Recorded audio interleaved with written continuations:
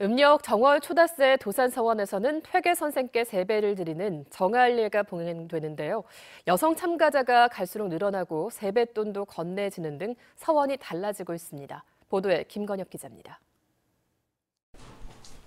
퇴계 선생을 기리는 유생들이 도산 서원에 모였습니다. 정교당 마당 동서편에 나눠선 유생들은 서로 예를 갖춘 뒤 선생의 위패를 모신 상덕사로 향합니다.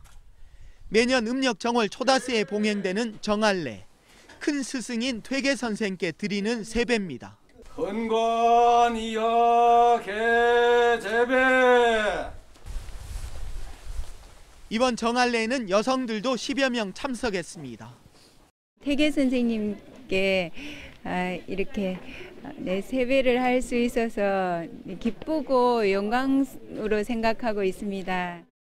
도산서원은 시대의 변화에 맞춰 십수년 전부터 서원 내 전통 의례를 일반에 공개하고 여성들의 참배를 허용하며 유교적 제한을 풀고 있습니다.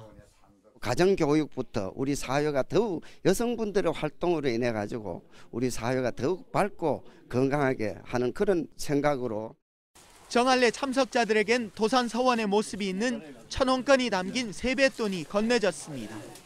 이 맑은 기운을 널리 널리 퍼뜨려서 우리 사회가 좀더 어, 좋고 전통의 가치와 가르침은 고수하고 시대 흐름도 따르면서 서원이 변화하고 있습니다. MBC 뉴스 김건엽입니다.